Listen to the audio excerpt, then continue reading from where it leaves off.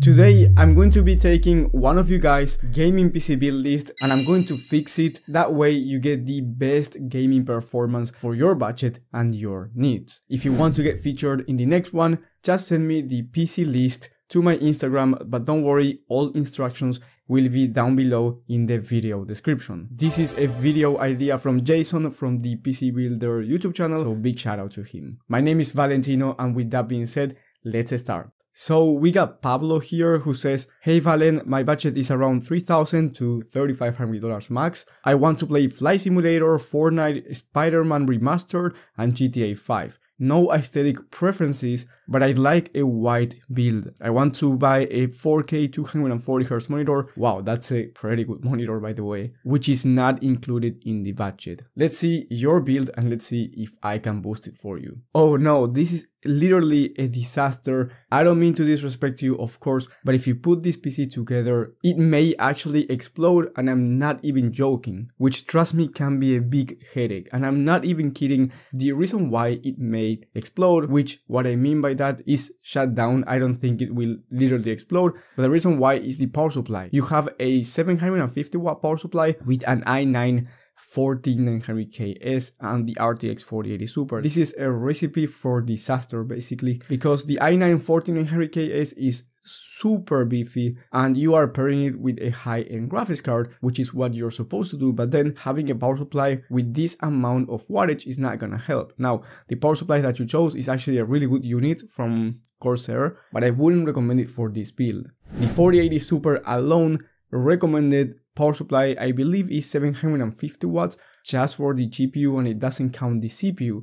If you put this CPU, it's going to be higher. And I know that the PCPartPicker says that the estimated wattage is 722 watts, but it doesn't count the potential power spikes while gaming, which can hurt your system long term. We gotta fix that first. And another thing that I want to say is that the 14900KS is not a gaming CPU. Yes, it can do gaming at a very high level, but it's more for creators rather than just gamers. You did not mention anything about content creation at all. And then another thing that I see wrong here is that you have a 4080 Super in a $3,000 build. The 4080 Super is an amazing 4K GPU for a 2000 to $2,500 PC build. For 3000 you can go with the best of the best, the RTX 4090, even though it's much more expensive than the 4080 Super, your budget allows it. So that's another thing that we have to change here. And then I believe you spent a lot in your aesthetic preferences, which is fine, but I call this the NZXT virus. And the reason why is because NZXT has, yes, amazing components. They are beautiful, but they are quite expensive. If you want to go NZXT, I can keep that, no worries. But I believe that the reason why this system is so expensive is because of the NZXT product, the i9 14900KS, which requires a big cooler, so it's even more expensive. And then you also went with 64 gigs of DDR5 memory, CL38 timing, so this is a slow memory. You do not want to buy this memory kit for your system for gaming. And 64 gigs is definitely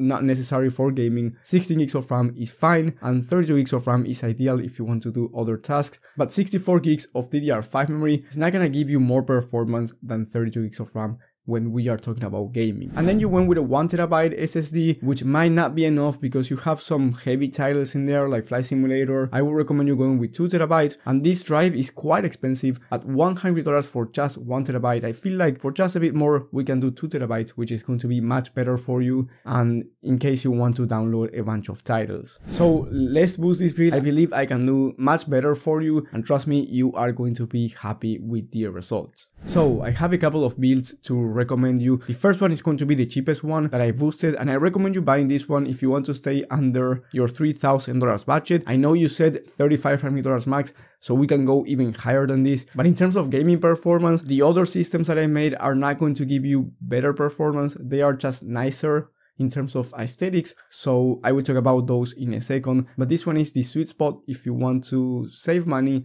and get the best performance anyway. I went with the Ryzen 7 7800X3D for the CPU, which is much more power efficient and is also faster when it comes to gaming performance compared to the 14900KS. And as you can see in the estimated wattage is almost the same as yours, but here you get the RTX 4090 which requires much more power than the 4080 Super. So yes, here you get the best of the best, the fastest CPU in the market and the fastest graphics card in the market. In one of the latest tests from TechSpot from the 4080 Super, at 4K resolution, the 4090 was able to average over 110 FPS, while the 4080 Super was able to average around 85, which, don't get me wrong, is a good number, but the 4090 is much faster. And here you will not have an issue with your power supply because I went with a 1200 watt power supply, A tier rated by the way, so very good quality from be quiet. And even if you have those power spikes while gaming, the 1200 watt power supply will be able to support it, no problems. So trust me, if you go with this power supply, it's a much safer option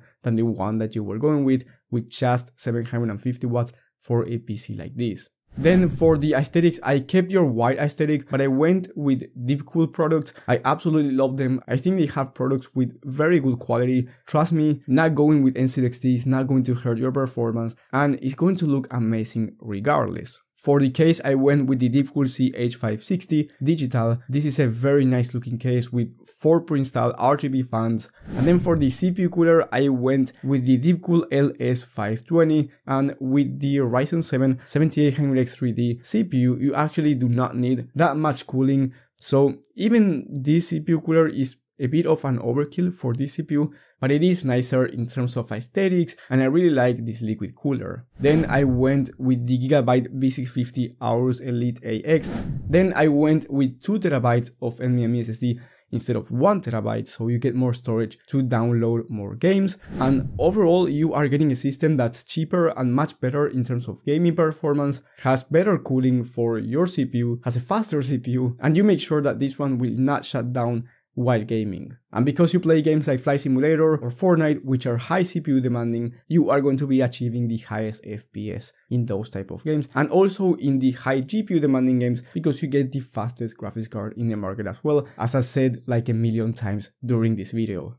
Now, if you want to spend a bit more, you can go with the NZXT route, get the H6 Flow for the case, because you will need them in my opinion, that way you get better airflow in these type of cases, and then I went with an NZXT 280 all-in-one liquid cooler, which looks amazing as well, just so you get the all NZXT look in case you want to go with that brand instead. As I said before, we can keep this if you want, the total price is going to be 3080 bucks, so more expensive than the last one, but this is still within your budget and if you want to spend even more, you can go with a 360 liquid cooler from NZXT instead of 280. This is going to be basically the same for this CPU, but let's say you want to upgrade to a more beefy CPU down the line, well this 360 liquid cooler is going to be plenty for future CPUs. So you can go with this one if you want. Once again, it's an overkill and you do not need this one. It's not going to give you more gaming performance or anything like that, but it is better if you know that you will upgrade to a beefy CPU in the near future. If you upgrade to this CPU cooler, the total price will be around 3147 bucks, at least when I'm recording this video. And then I have one more PC for you. And before showing you that one, I want to say that if you are finding valuable information throughout this video,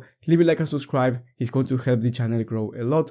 Thank you so much if you end up doing that. So the last one, the only difference is that the graphics card, the 4090, is fully white in case you want to go with a full white aesthetic. Now the other systems came with an Asus 4090 which looks amazing as well, I don't think it's going to be an issue in terms of aesthetics, but if you want a totally full white build then this one is going to be the better option because the GPU is white and it looks amazing. The total price for this system with the white 4090 is around $3,170, which is quite expensive, but is still within your budget in case you want to go with the fully operated build. Remember all the links to every build that I boosted in this one will be in the description. And if you want to get featured in the next one, you will also have the instructions down below. And if you're looking for a PC build, regardless of your budget and your monitor resolution, I highly recommend you watching my monthly video on the best gaming PC builds for every budget and every resolution. That one will be in the top right of the screen. Thank you guys for watching, thank you for the support, and I will see you on the next one.